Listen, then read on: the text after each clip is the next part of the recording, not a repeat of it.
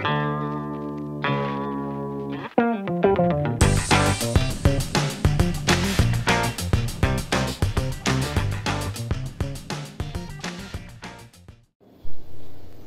everyone welcome to Goldie's tasteful kitchen आज जो हम रेसिपी लेकर आए हैं आपके लिए वो है उपमा, लेकिन कोकोनट के साथ फ्रेश कोकोनट के साथ, और थोड़ा मीठा। तो हलवा भी नहीं कह सकते आप उसको ये उपमा है, आप खाएँगे ट्राई करेंगे, तभी पता चलेगा। ये देखिए, सबसे पहले मैं बताऊँ आपको, मैंने वन फोर्थ कप सूजी ली है।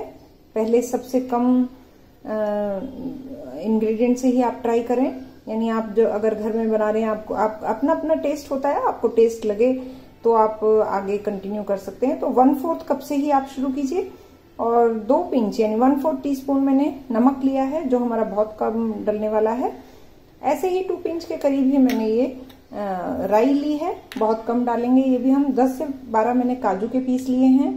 एक टेबल स्पून मैंने चीनी ली है, दो टेबल स्पून देसी घी लिया है, और ये देखिए कोकोनट फ्रेश लेके मैंने उसको मिक्सी में घुमा लिया है, उसका छिलका उतारने के बाद ताकि ये बिल्कुल व्हाइट दिखे, और जरा सा पानी डाल के उसको मिक्सी में चला लिया है, और ये है आधा कप तो आप कम ज़्यादा अपने हिसाब से कर सकते हैं। तो आइए स्टार्ट करते हैं। ये बढ़िया सी रेसिपी हेल्दी ब्रेकफास्ट है ये। पैन को हमने गरम कर लिया है, इसमें हमने सूजी को डाल लिया है और इसको हम ड्राई रोस्ट करेंगे। हल्के हाथ से ऐसे चलाते हुए, बिल्कुल इसका कलर भी चेंज ना हो और आप यहाँ इसको हल्का सा ऐसे ऐसे फिंगर पे जरा सा गीला करके ऐसे लगा के देखें तो कच्चा खाने में लगता है और जब आप दोबारा हल्का भुनने के बाद इसको देखते हैं तो वो खाने से ही पता लग जाता है, इतना सा एक पिंच खाने से ही पता लग जाता है कि ये भुन गया है। तो ज़्यादा कलर हमें चेंज नहीं करना करना है क्योंकि वो ब्राउन ना दिखे, हलवे की तरह ना दिखे। तो इसको हम लगातार चलाते हुए स्लो टू मीडियम फ्लेम पर भूनेंगे। बिल्कुल स्लो टू मीडियम क्योंकि सूजी है, बहुत जल्दी जल जाएगी। ये देखिए, सूजी जो है वो अच्छे से रोस्ट हो गई है। अब हम इसको एक प्लेट में गैस को ऑफ़ कर देंगे और प्लेट में खाली कर लेंगे, क्योंकि सूजी का अगर हमने कढ़ाई में छोड़ दिया ना तो वो जल जाएगी। तो हम इसको इस प्लेट में निकाल लेंगे। और ये देखिए, हल्का सा कलर चेंज हुआ है। बाकी सूजी जो है वो परफेक्ट भुन गई है। ये खाकर अगर जरा सा टेस्ट करके देखेंगे तो थोड़ा सा क्रिस्पी हो जाती है। तो आप देख सकते हैं, सूजी की रोस्टिंग जो है ना प्लेट में निकालते ही रुक जाती है, वो जलने से बच जाती है। इधर हमने कढ़ाई में घी चढ़ा लिया है। पहले थोड़ा घी डाला है, एक टेबल स्पून डाला है। घी जैसे ही हल्का गर्म हो, हम उसमें काजू के पीसेस डाल देंगे। इनको हम भूनेंगे रोस्ट करेंगे और वो भी स्लो गैस पर हल्का कलर चेंज हो जाए, इनका हल्के ब्राउन हो जाए। तब तक हम इनको लगातार चलाते हुए रोस्ट करेंगे। अगर आपको मेरी ये रेसिपी पसंद आती है तो प्लीज़ लाइक कीजिए शेयर कीजिए अपने फैमिली फ्रेंड्स में बेल आइकन प्रेस कीजिए, ताकि मेरी लेटेस्ट अपडेट्स आप तक पहुँच सकें। अगर मेरे चैनल को आपने सब्सक्राइब नहीं किया है तो कर दीजिए। और अगर आपको वीडियो पसंद आती है तो लाइक ज़रूर किया कीजिए।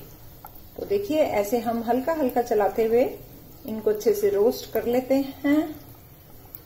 और यकीन मानिए, ये बहुत टेस्टी लगती है, बहुत यमी लगता है।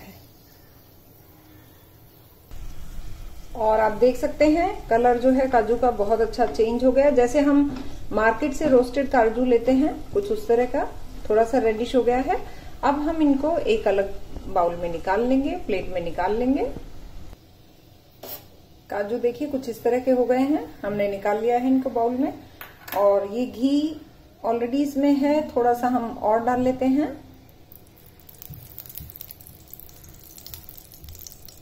हम इसमें थोड़ी सी राई डाल देंगे।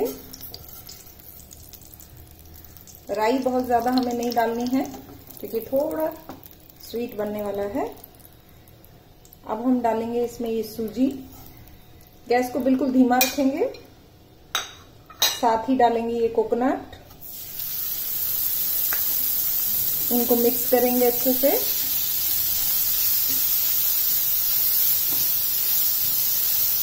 देखिए, बहुत टेस्टी लगेगा ये, बहुत यमी इसमें हम इसी समय डाल रहे हैं ये शुगर चीनी। इसको भी अच्छे से मिक्स करेंगे। सूजी हमारी ऑलरेडी भुनी हुई है, बस हमें एक सेकेंड ही करना है। और ये वन फोर टी स्पून हम डालेंगे इसमें नमक।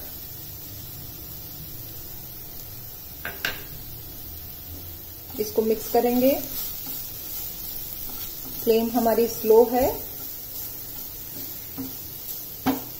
और यहाँ मैं आपको दिखाऊँ, ये मैंने पानी लिया है। वन फोर्थ कप हमने सूजी ली थी तो एक कप पानी है। जिस ग्राइंडर में मैंने कोकोनट को ग्राइंड किया था, उसी में डाल के मैंने इसको निकाल लिया है, इसलिए कलर पानी का ऐसा है। तो ये इसमें डाल देंगे हम, बिल्कुल स्लो गैस पर। और इसको जल्दी से चलाएँगे। मिक्स करेंगे इसको। लगातार चलाते रहेंगे, थोड़ा गैस की फ्लेम को बढ़ा देंगे। और ये देखिए, कितना बढ़िया ये लग रहा है व्हाइट व्हाइट कलर और इसमें ये फ्रेश नारियल का टेस्ट बहुत अच्छा आता है। हाँ आप नारियल चाहें तो उसका काला छिलका निकालकर उसको ग्रेट भी कर सकते हैं। अगर आप मिक्सी में चलाना नहीं चाहते, थोड़ा पानी डाल के वैसे आसानी से चल सकता, चल जाता है। तो ग्रेट भी कर सकते हैं और इसकी क्वांटिटी भी आप कम ज़्यादा कर सकते हैं। जितनी सूजी है, उतना ही कोकोनट भी ले सकते हैं। तो देखिए, इसको हमने चला दिया है। बबल्स आने लगे हैं, गैस को धीमा करते हैं और इसको ढककर कुछ देर के लिए पकाते हैं। डेढ़ मिनट के करीब हो गया है तो आइए इसको चेक कर लेते हैं।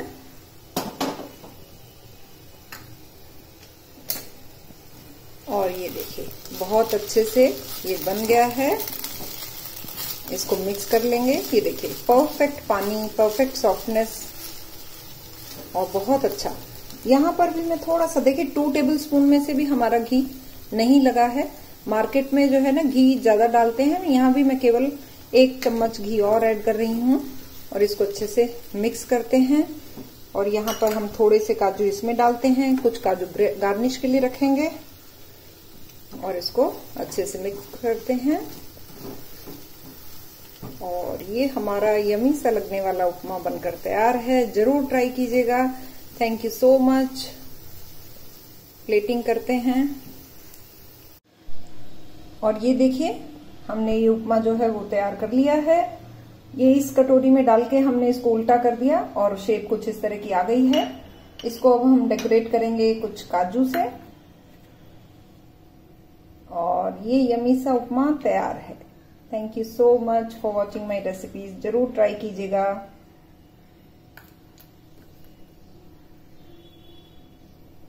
लग रहा है ना टेम्पटिंग और इधर मैं दिखाऊँ आपको, ये कितना सॉफ्ट है, देखिए। बिल्कुल सॉफ्ट है, एकदम उपमा।